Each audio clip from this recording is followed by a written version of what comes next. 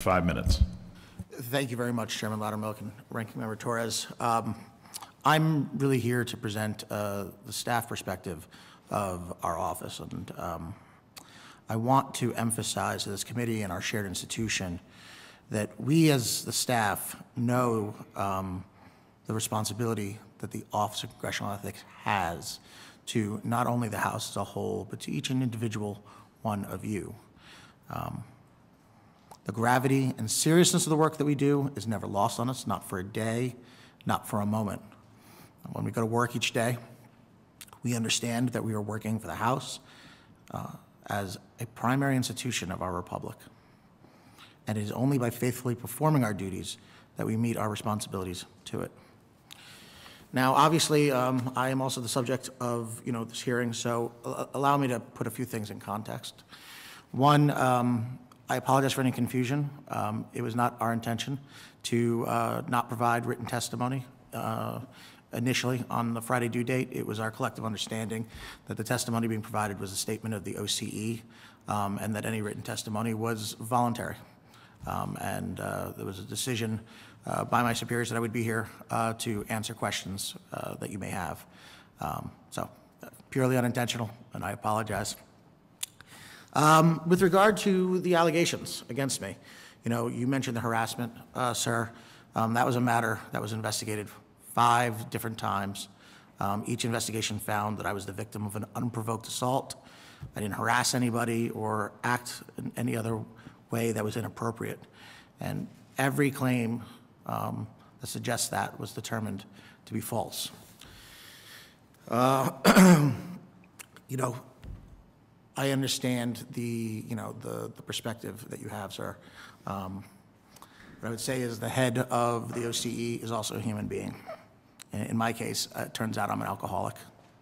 Um, I recently completed six months of um, intensive outpatient therapy. Um, This is sometimes called recovery. Um, It is, uh, used to be called rehabilitation, rehab. Um, I continue in that program um, in a lesser intensive fashion. Um, I have a sponsor. um, And every day, even here on this piece of paper right here, I have uh, the Serenity Prayer.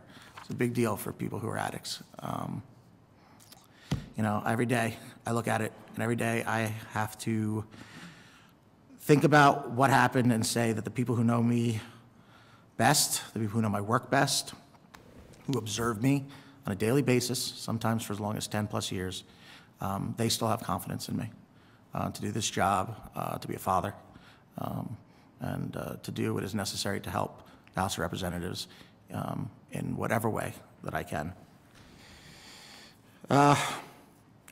You know, uh, real quick, I think it is key to point out a few uh, misconceptions. One is, um, you made reference to a leak in 2015.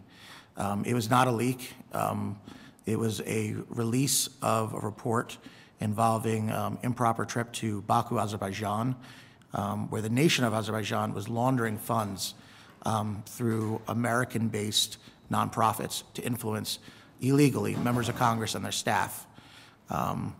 The OCE was responsible for uncovering that effort, um, which ultimately led to an FBI investigation and DOJ prosecution. Um, And so when the report was not released, it was considered to be of vital importance by the board to release it.